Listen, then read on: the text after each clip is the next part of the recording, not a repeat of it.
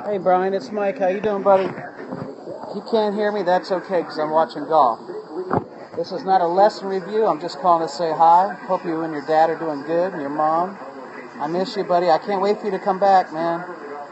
Obviously, looking at this setup, we changed a lot while you were here, huh? Good backswing, though.